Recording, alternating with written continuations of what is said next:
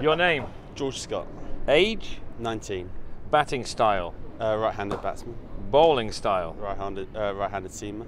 highest individual score, Um, 146, I think. your best bowling figures. Uh, five for 40 something.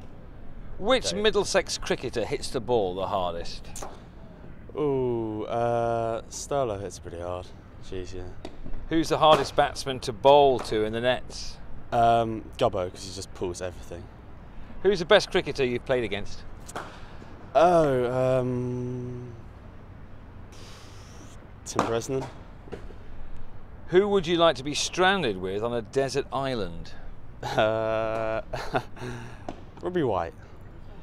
Your ideal date? Um, go see a cricket match. No one does that, do they? So that'd be fun. And your best mate in cricket? Uh, Robbie Goldstein.